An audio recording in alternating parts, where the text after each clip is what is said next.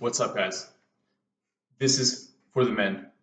This message is stop being a fucking pussy. Stop thinking so negative. Okay, and I'm gonna tell you guys why. You know, I do mentor a nice amount of people. I've done a whole lot of people in the hundreds um, in, in my career when I had a job.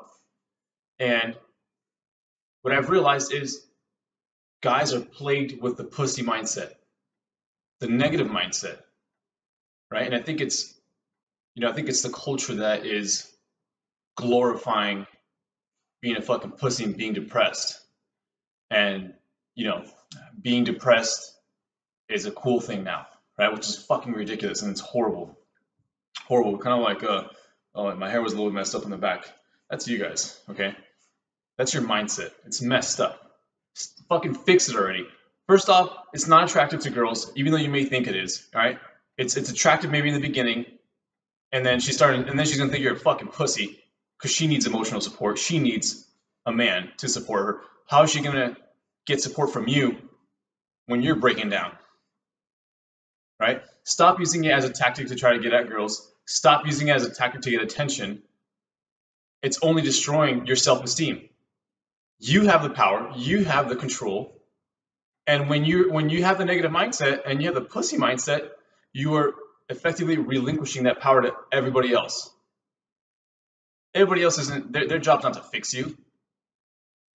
You are basically saying, "Hey, everybody, please fix me. Everybody, please help me." Yes, we're supposed to help. Yes, human beings do have like an algorithm in them to want to help, of course. But you are relying on that. Stop being a fucking pussy. Get your shit together talk to yourself, be your own cheerleader, tell yourself how great you are, even though when you're not. Guys, come on, this is what you guys gotta do. You, if, if you're not the person and the man that you want to be, that doesn't matter. That's where everybody that's where everybody starts off. You have to talk to yourself to get to that point. You have to breathe in life into yourself. Right? That's what my mentor did to me. My mentor breathed he uh, breathed life into me when I didn't have it right? So you need to find a mentor first off, and you're not gonna find it by fucking being a bitch. No mentor wants a little fucking pussy, right? So you need to fix your pussy mindset. You need to fix that negative mindset. How many times does life is life gonna fucking slap you in the face and teach you that the negative mindset doesn't work? How many times are you gonna have to wait?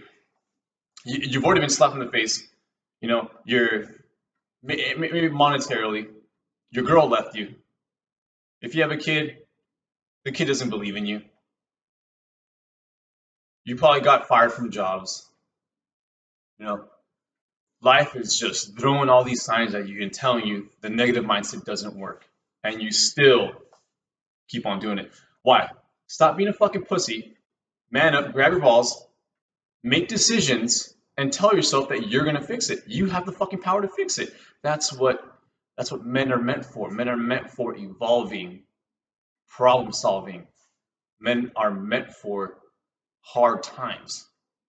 Stop being so fucking emotional and being a pussy and thinking that everything is out of your control. It's not.